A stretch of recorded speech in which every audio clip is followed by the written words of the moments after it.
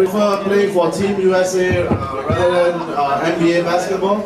Well, yeah, I think when you have the opportunity to play for your country, it's uh, it's even more special. Um, you know, the NBA, you, you know, it's a, it's a regional game. You, have Laker fans, you have Pistons fans, you have uh, Spurs fans. When you play for your country, the entire country rallies around one team. And so it's more special, especially considering you know the struggles that we've had in the past and uh, how great teams are from Greece to Spain to Argentina. So um, it's, it's it's such a great sense of pride to play for USA. If you were to choose one thing, an Olympic gold medal or another NBA championship, which would it be and why? Well, fortunately, I don't have to choose one or the other.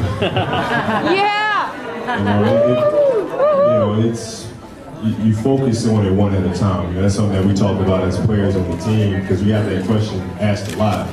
Uh, just because the sense in our country is that it was more important to win an NBA championship as opposed to winning a gold medal.